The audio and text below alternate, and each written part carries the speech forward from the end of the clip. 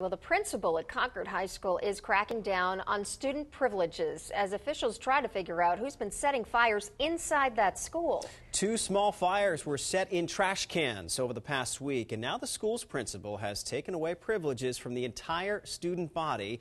And as Ray Brewer reports, he says it will stay that way until the person responsible for setting these fires is found. Good morning, Ray. Good morning, Sean. That's right. Both the principal and the fire department are taking this situation very seriously.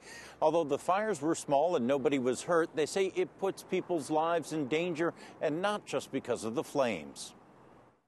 They locked the school down essentially. Um, no hall passes. A lot of the freedom of the students normally was taken away. Those were the consequences for Concord High School students after a trash can fire in a staff bathroom. It's the second one discovered in six days, and the principal isn't taking it lightly. In a letter sent home to parents, Principal Eugene Connolly says, We're going to restrict all passes. No one will be allowed out in the hallways for any reason.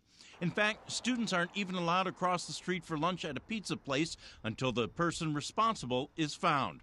While the fires didn't even activate the sprinkler system, fire officials say it's more dangerous than you may think. It does produce a lot of toxic smoke and, and fumes from the plastics burning, so we want to look out for everyone's well, you know, welfare that's in the building, the staff and the students. The deputy fire chief says it's likely the fires are connected, but whatever the case, he says this may be much more than just a joke. The kids can do that as a call for help sometimes. Uh, there's a lot of issues with juvenile fire setting. It's usually something, whether it's at home or they're struggling in school.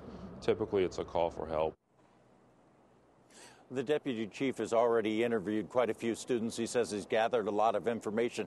He hopes to be back here today and hopes to know who's responsible for this soon. Reporting live in Concord, Ray Brewer, WMUR News 9.